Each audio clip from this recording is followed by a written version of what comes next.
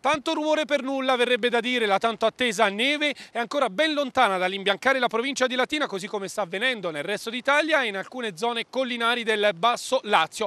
Ma così come è avvenuto in questo territorio poco più di un anno fa, era il 17 dicembre del 2010. Giusto qualche fiocco è venuto giù nei paesi di Bassiano, Cori e Assezze. In quest'ultimo caso il primo cittadino ha deciso la chiusura delle scuole per la giornata di oggi. Qualche fiocco anche nella zona di Castello Onorato a Formia. A Norma è stata invece chiusa la strada di accesso al paese paese in via precauzionale a causa della caduta di alcuni massi.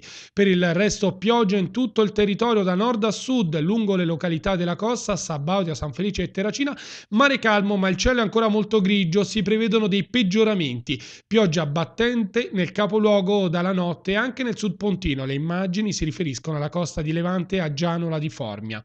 Si muove intanto la macchina dell'emergenza maltempo. Il prefetto Antonio D'Acunto ha convocato il comitato operativo per la viabilità con la partecipazione delle forze forze dell'ordine e di tutti gli enti interessati. L'insidia maggiore è per la gelata notturna che potrebbe concentrarsi in tratti di strada soprattutto sui Monti Lepini.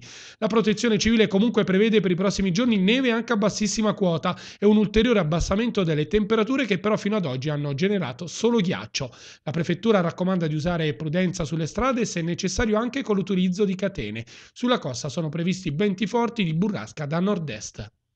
Pioggia fitta e nubi basse, Aprilia questa mattina si è svegliata così, senza neve, è stata scongiurata quindi l'ondata di grande freddo che è stata prevista nei, nei, giorni scorsi. Il comune di Aprilia si è organizzato, sta monitorando comunque la situazione per scongiurare ogni emergenza in stretto collegamento con la protezione civile, vigili urbani, per far fronte ad ogni emergenza. Sono stati consegnati dei sacchi di sale per eh, evitare che le strade si ghiaccino e quindi la viabilità al momento scorre regolarmente, così come tutte le attività quotidiane. Le scuole infatti sono rimaste aperte il sindaco di Aprilia non ha provveduto ad emanare nessuna ordinanza. Le prossime ore saranno importanti e comunque tutto è sotto controllo.